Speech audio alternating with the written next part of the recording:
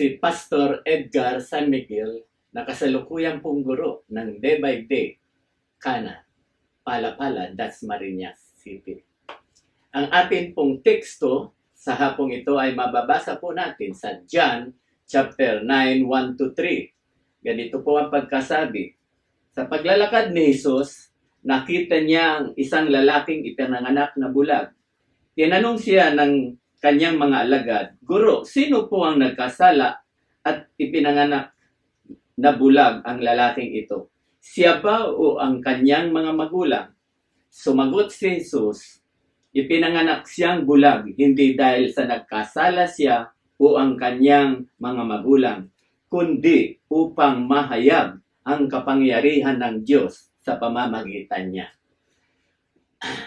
Ang ating pong topic sa araw na to ay pinamagatan pong miracle. What is miracle? Miracle an epic or extraordinary event in the physical world that surpasses all known human or natural powers and is uh, ascribed to a supernatural cause, such an effect or event manifesting or considered as a work of God. Ang himala po, wala pong ibang makagagawa, kundi ay ang ating Diyos o Panginoong Jesus. Okay, so, sa pasimula po, mapapansin natin na si Jesus ay nagkaroon ng himala. Mayroon pong miracle. Ano po ang kanyang unang ginawa? Yung changing water into a wine at Cana. Ito po ay mababasa natin sa John 2, 1 to 11. So, ang tubig daw po ay ginawang alak. At ito po ang kauna-unahang ginawa ni Kristo. At pangalawa pong ginawa niya, yung healing the royal official son in Capernaum. Mababasa po natin sa John 4, 46 to 54.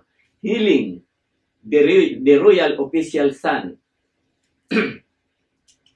Ito pong healing, kung atin pong pag-aaralan, wala po siyang ininom na gamot. Ang sabi po rito, sa talatang ito, sa John 4, 46 to 54, sinabi lang ni Jesus sa kanyang ama, dahil ang pananampalataya po ng kanyang ama ay talagang kay Heso Kristo lamang po. Siya ang nananalig. Kaya dahil sa pananampalataya ng amang ito, ang sabi ni Jesus, sige, wag mo na akong dalhin, umuwi ka na, at magaling na ang iyong anak. Samantalang nang iwan niya ito, ito ay naghihingalo na halos mamatay na. E, isang araw ang kanyang paglalakbay, naglakbay siya ng isang araw. Pag, pagdating niya sa kanilang lugar, sinalubong siya ng kanyang mga kasambahay at sila ay tuwang-tuwa. Ano ang sabi? Magaling na po ang inyong anak. Anong oras ba nangyari, sabi ng tatay? Anong oras ba nangyari? Ganitong oras din nang sabihan siya ng Panginoon na pinagaling na at siya'y buhay na buhay ang iyong anak. Kaya, yung pananampalataya po ng Ama, nakita po natin, kahit wala siyang na-inject na gamot, hindi naka, nakarating ng hospital, walang manggagamot, siya'y pinagaling. So, sa pangatlo po, healing the paralytic at Bethesda. Bethesda. Healing. Yung pong paral- paralitiko po na matanda at nilapitan niya, ano ang sabi niya, nandun sila sa pool, doon sila lumulubog at sinabihan din siya na dalhin mo ang iyong higaan at siya'y nakalakad. Ito po yung uh, himala na ginawa ni Kristo. Babalikan ko po yung healing. Dito po sa healing, dahil ito po ang aking gustong i-emphasize, na marami po kasing tao magpahanggang ngayon ay gaya-gaya. Tama, sa aking palagay, ang Diyos ay walang pagbabago. Ang Diyos noon, Diyos ngayon, pati ang darating, siya'y hindi nagbabago. Kaya ako man ay naniniwala na ang himala ay laging nandyan. Hindi maaaring kontrolin ang Diyos. Kung gusto niyang pagalingin ka, gagaling ka. Kaya lang, sa aking pag-aaral po, God is a God of order. Ang Diyos po ay Diyos ng kaayusan.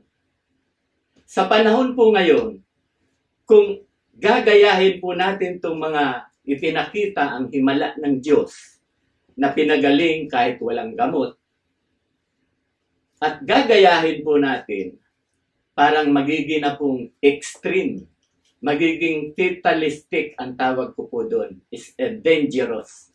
Bakit? Ba't ko nabanggit kanina? God is a God of order. Ang Diyos ay Diyos ng kayusan. Sapagkat naglagay po siya ng doktor. Ang mga doktor po ay galing sa Diyos.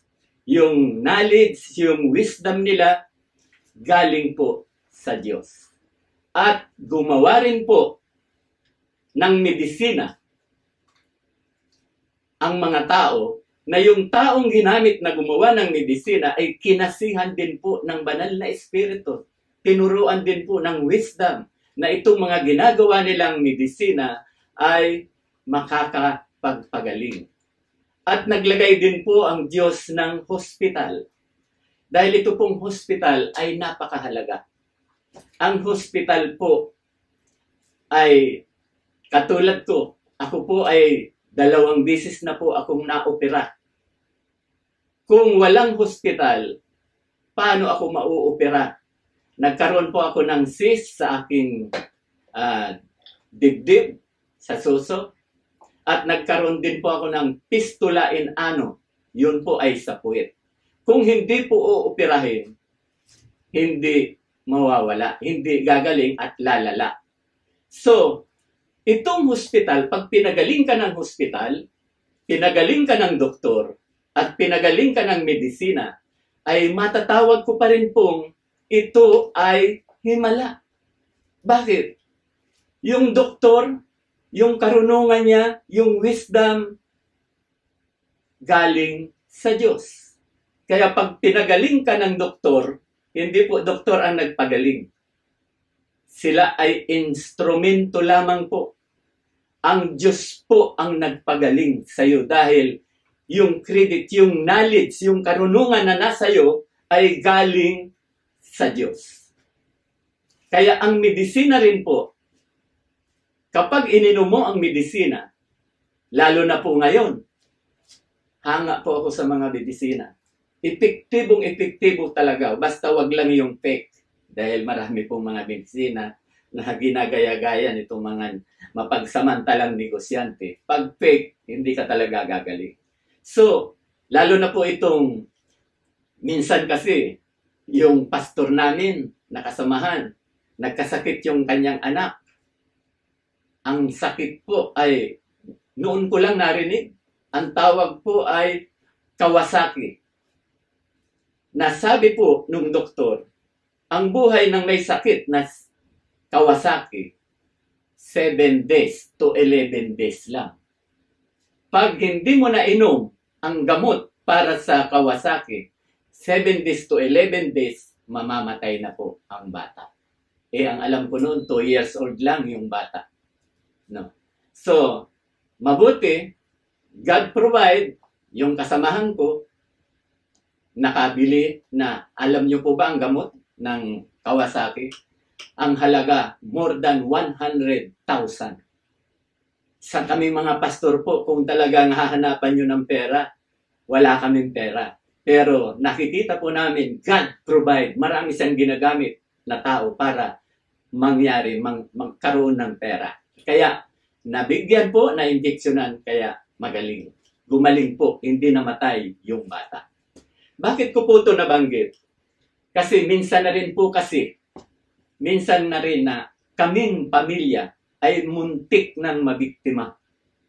Dahil yung pinasukan naming church, ang tinuturo po, ganito, wag daw kaming magpadoktor kasi pag kami ay nagpadoktor, natukso kami ng Diablo. Wag daw po kaming uminom ng gamot dahil pag uminom daw kami ng gamot, natukso kami ng Diablo. Ang ganda ng kwento niya kasi ganito, pag nagkasakit ka, sino ang dapat tawagin? Magbibigay ako ng isang halimbawa bago ko sagutin niyo. Ang karpintero ang gumagawa ng bahay. Pag nasira ang bahay, sino ang tatawagin mo? Karpintero. Pag ang sasakyan mo nasira, sino ang tatawagin mo? Mekaniko. Iisip ko, oo nga no. Pag ikaw naman nasira, sino ang tatawagin mo? Doktor po, sabi, hindi. Ang Diyos ang tawagin mo. Dahil siya ang gumawa sa iyo. Kaya may katwiran. Kaya siguro po mga anim na buwan kaming hindi umiinom ng gamot. Pati yung anak ko na nilagnat at ipinag-pray-over ko po. Gumagaling po. Kaya lang, alam niyo kung bakit? Matagal. Inaabot po ng isang linggo or more. Yun po ang nangyayari. Mabuti na lang may nagpaliwanag sa akin na pastor din. Sabi niya, kapatid, tayo pong mga tao, lahat ng tao ay may immune system. Pag may immune system, kapag humina ang iyong immune system, lahat ng klasing sakit ay pwedeng pumasok sa iyong katawan. Kaya, gumagaling nga yung ipinalalangin mo, pero matagal dahil saka lang siya gagaling pag lumakas uli ang kanyang immune system. Samantalang kung bumili ka ng gamot, sabi ng nagtuturo sa akin, pag inom mo ng gamot, tutulungan ang immune system mo ng katawan mo na lumakas. Pag lumakas, anuman ang karamdaman mo, anuman ang bakteryang nasa katawan mo, dahil malakas na uli ang immune system, dahil sa medisinang tinik mo, mabilis gagaling. Dalawang araw lang, magaling na yan dahil sa gamot. No? Kaya, thank God na hindi ipinahintulot ni Lord na paniwalaan ko yung wag nang magpa-doktor, wag nang magpa-hospital, at wag nang uminom ng gamot. Yun po ay masyadong, uh, ang tawag ko po doon ay ex- extreme o fatalistic extreme. Ang Diyos po ang naglagay ng doktor, ang Diyos ang gumawa ng hospital, ang Diyos ang gumawa ng medisina. Kaya pag pinagaling tayo sa hospital o ng doktor, Diyos pa rin ang nagpagaling sa atin. Ganun po kabuti ang Diyos. Kaya himala pa rin ang tawag ko doon. Kaya ako naniniwala noon, ngayon, pati ang darating, ang Diyos kung gustong gumawa ng himala, hindi po natin pwedeng kontrolin. Nobody can control God. Pero, ang Diyos ay Diyos ng kaayusan. Halimbawa na lamang po, sa atin, kung walang pamunuan dito sa atin, sa Pilipinas o sa buong mundo, saan mang nasyon, kung walang pamunuan, walang pamahalaan, di ba? Walang batas, di ang gulo natin. Para tayo mga asot pusa. Dahil walang batas na sinusod, walang kaayusan. God is a God of order. Kaya isa rin po yan na ipinakikita na ang Diyos ay napakabuti. Tingnan nyo nga naman, noong panahon, pag nagkasakit ka, hahanap ka pa ng mga panglunas. Ngayon, napakabuti ng Diyos. Ang panglunas sa iyong karamdaman, nandyan na po sa Mercury Nandiyan na sa Watson. Nagaantay na lamang. Pagkatapos, mayroon pa kasing nagtuturo, kaya nasabi ko nga sa inyo noon, na naniwala na kami na wag nang mag-take ng gamot, mayroon pa nagtuturo. Okay lang ho, maaring sa kanila. Pero, ba't gugustuhin pa natin na umasa na huwag uminom ng gamot. Umasa. Tama na manalangin. Number one po ang gagawin natin. Prayer is power. Yan po ang dapat natin gawin. Pero faith without work is dead, sabi sa Santiago, chapter 2, verse 25. Manalangin ka, may gagawin ka. Katulad ko po, bibigay ko sa inyo ang isang halimbawa. Ipapaliwanag ko po iyon na kung bakit ako nagkasakit na diabetes for 22 years. Ang sabi sa akin ng doktor na pumausap sa akin, within 21 days, pagagalingin ka ni Lord. Pero may gagawin ka. Ano ang gagawin mo? Ngayon ko lang po ikwikwento kung ano yung aking ginawa. Kasi napakahalaga sa mga nakikinig na kapag napakinggan ninyo at ginawa ninyo, napakabuti po. Wala pong gastos. Walang gastos. Ganito po ang sinabi sa akin. Yun lang, umpisa, nagastos ako sa doktor. Kasi inalis yung bara ng ugat ko, 3,000 yun. Barado na yung ugat ko. In-ECG ako, na, na-stroke na pala ako, hindi ko alam. Binigyan ako doon ng gamot para sa ganyan. So, doon lamang po ako nag-umpisa. Pero yung mga makakarinig nito, mas maganda magpa-doktor po tayo pag may sakit. Pero kung diabetes po lamang, napakadali. Ito po ang aking kikwento dahil for 22 years na ako nagkasakit ng diabetes, within 21 days, pinagaling ako ni Lord. Ganito lamang po ang payo niya sa akin. Ang sabi ng doktor, uh, reverse. Lahat ng kinakain mo noon, kalimutan mo muna. Ano-ano bang kinakain mo? Kare-kare, crispy pata, paksyo na litson, litsong baboy. Kalimutan mo na muna yan. Eh ano, ba't, ano doktor ang aking kakainin? Puro gulay. Lahat gulay, nilaga lang, walang mantika. Itlog, apat na itlog. Araw-araw. Soup boil. Mabuti nga sa akin, apat lang. Yung kapatid ko, iba ang doktor niya. Sampung itlog araw-araw at the age of 73 years old. Isang taon na po siyang umiinom ng sampung itlog. Soup boil. Ako po, isang taon mahigit na rin. 4 eggs every day or 6, 5 ang naiinom ko po, kinakain.